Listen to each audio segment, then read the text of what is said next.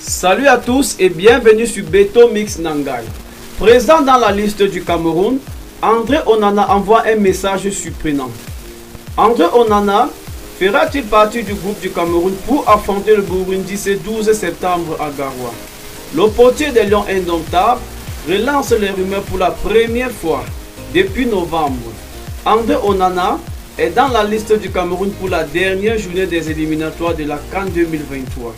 Rigobert sont là dévoilé ce mardi et a donné quelques raisons du retour du gardien de 27 ans au sein de la tanière des Lions Indomptables. Il n'y a jamais eu de problème avec André Onana. Je vous ai dit depuis que tout dépendait de lui. Il savait ce qu'il avait à faire.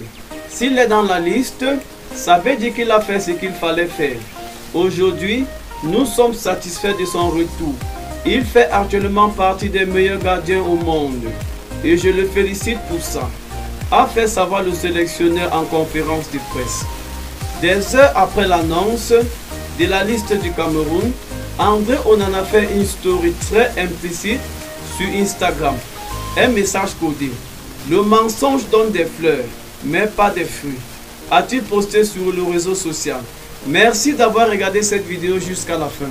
N'oubliez pas de vous abonner et d'activer la cloche de notification pour ne pas manquer nos prochaines vidéos. A très bientôt pour une prochaine vidéo.